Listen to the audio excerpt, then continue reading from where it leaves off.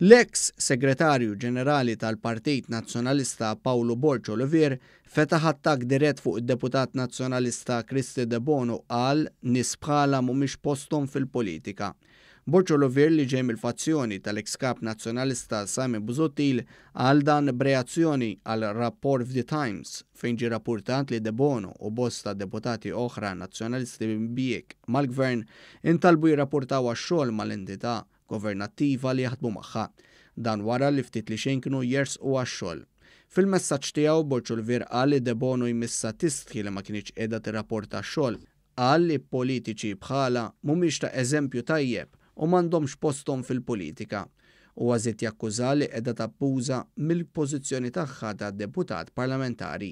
Borg Olivier żied jiżvela li Debono ilha nieqsa wkoll mill-Partit Nazzjonalista fuq leave tal-mard sfurzat wara l-laqgħa li kellha ma' Yorgen Fenech, is-suspettat mandant fil-qtil ta' Daphne Caruana Galizia.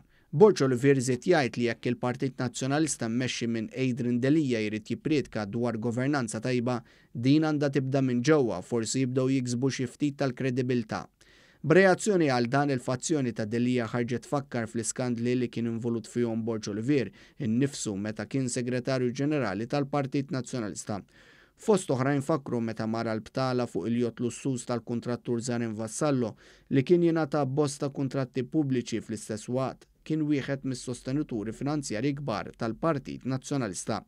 Fl-2010, Borg Olivier flimkien ma' martu nqabdu fuq il-jott lussuż ta' Vassallo fi Sqallija. Huwa kien iġġustifika din iż-żjara għax qal li kien fil-kapaċità personali tiegħu fuq dgħajsa ta' ħabib. Din kienet it-tieni darba li s-Segretarju Ġenerali tal-Partit Nazzjonalista Kien inqabad għall-btala ma' Vassallo. Fost oħrajn il-kumpanija ta' Vassallo kienet ingħatat il-kuntratt minn Gvern Nazzjonalista biex tagħmel ix-xogħlijiet ta' kostruzzjoni tal-power station tal-BWSC li kienet taħdem bil-heavy fuel oil. F'investigazzjoni li saret mill-Awditur Ġenerali fuq il-kuntratt korrott tal-power station, l-Awditur qal li kien hemm id-duħħan iżda ma nstabx in-nar. Dan għall-fatt li ma sabx kooperazzjoni min-nies involuti biex jagħtuhlu informazzjoni meħtieġa fosthom mill-aġent Malti tal-BWSC.